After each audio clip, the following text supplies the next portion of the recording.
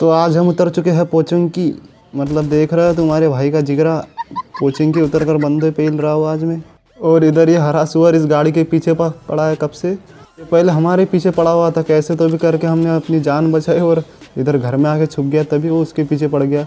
तो आज तुम्हारा भाई हरे सुअर से बचने के लिए कुछ मूल मंत्र बताने वाला है। तो सबसे पहले तुम्हें घर में आकर सब खिड़कियाँ, दरवाज़ा लगा लेने हैं और ऊपर सीढ़ियों के आगे बच गया बच गया। और आपको ऐसे मेरी तरह छत पे आके ऐसे बैठ जाना है।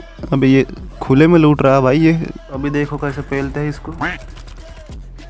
अबे, ले बेटा पट्ट से हेड शॉट और ये हरा सुअर लगता हमें ढूंढ रहा है इधर से। देखो कैसे कूद कूद के ढूंढ रहा है हमें। लेकिन उसे पता नहीं, हम यहाँ पे छुपे हैं। अभी इधर ही आ रहा लगता।